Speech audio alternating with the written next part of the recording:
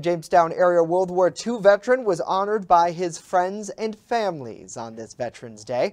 Charlie Walsh signed up to serve in the Second World War alongside his brothers. Working on a Liberty ship, Walsh was part of an exclusive group, the Armed Guard of the Navy. You were running convoys against the Germans' U-boats. We were moving ships.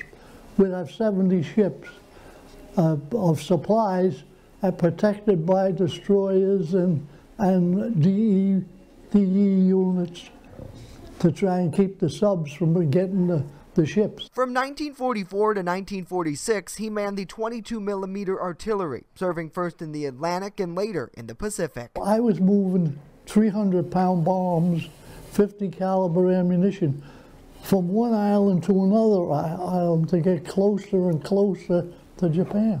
His nephew Jim Walsh, an Air Force vet of 29 years, put together a shadow box to document his uncle's service to our country. I got those those same ribbons that are on Uncle Charlie's hat. I got the uh, the medals that are attached to each ribbon um, with the signature of the United States Navy.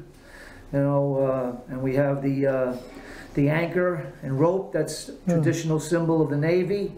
Uh, his rank, you know, which was uh, First class seaman. Mr. Walsh family is proud, most of all thankful for their time together, sharing stories of the greatest generation. I want to pass that on to my kids. I have three boys and a daughter, and uh, none of them have been in the military, but you know, but I have, you know, and um, you know, and, and they know people in my family have, but you know, they, they know the importance of it, even if they haven't served themselves. The 76-year-old currently lives at Brookdale Senior Community in Lakewood. By displaying the shadow box in his room, his family hopes all visitors will take some time to thank Mr. Walsh for his service, but most of all, time to sit and chat about his experiences over 78 years ago.